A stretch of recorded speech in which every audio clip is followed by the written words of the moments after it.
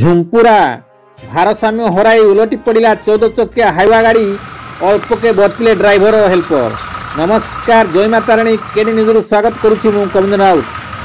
কেন্দুঝর জেলা বামেবাড়ি পলাশপঙ্গা কিডকো রাস্তায় দুর্ঘটনা এক নীতিদিন ঘটনা পালটিছি